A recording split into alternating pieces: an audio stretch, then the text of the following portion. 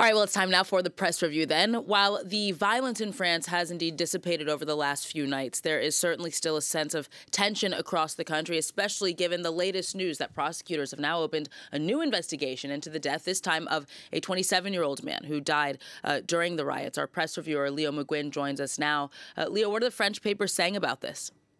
Yeah, Erin, as you say, a 27 year old killed at the weekend, struck in the chest by a projectile. That happened in Marseille. I'll show you the front page of La Marseillaise this morning. You can see here that a man is dead pending investigation. That investigation is underway. The incident took place in an area of the city where the riots had been taking place in downtown town Marseille, and he was on a scooter when he was struck in the chest by a projectile and suffered a cardiac arrest. These riots, of course, have been taking place after the death of teenager Naël last week. I want to show you this from Mediapart, which is a French investigative site.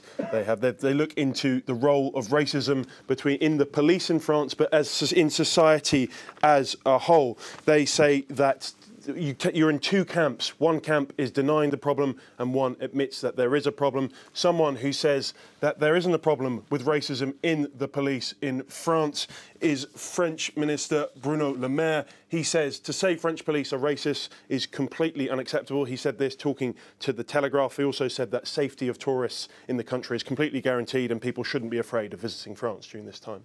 Now, what has been the what has the reaction been like outside of France, Leo? Yeah, I want to show you this opinion piece in The Guardian. You can see the headline here. Of course, Macron won't ta tackle police violence. He knows his power depends on it. They say that since 2018 and the yellow vest protests, the president seems to just accept the violence. Or is that through fear or sheer indifference? That's what the, the question they pose. They fit, the piece finishes with this extraordinary question. They ask whether Macron has simply assessed the scales of power and decided that he'd rather continue ruling with police violence instead of tackling, tackling it, even if it means the banlieues set ablaze. I'll finish on France with this piece from Scroll, which is an Indian website. They report that many Hindu nationalists are actually supporting the French far right, many even supporting the violence of police against rioters. And this is a simple fact because many of the protesters are indeed Muslim, including Naël, whose death sparked the riots, of course. And some have even called for the French police model to be replicated in India.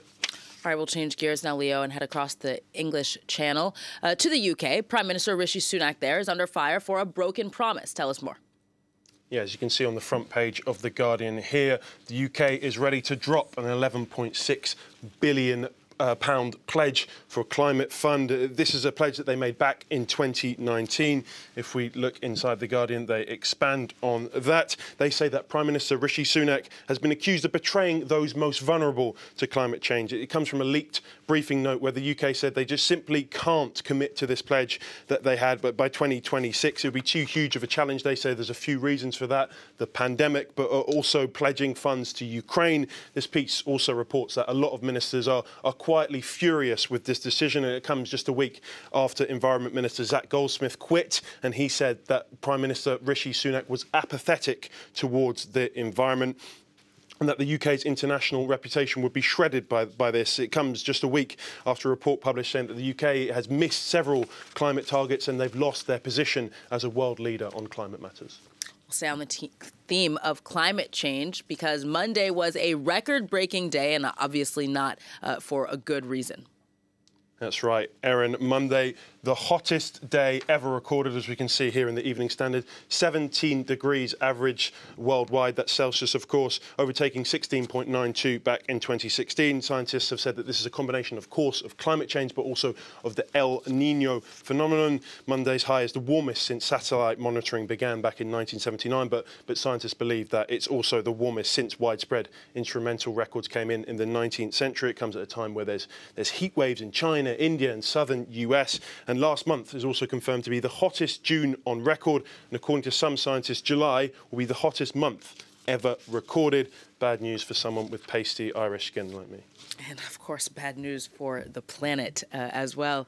Uh, Leo, all right, we'll finish with some new research into elephants and their diets.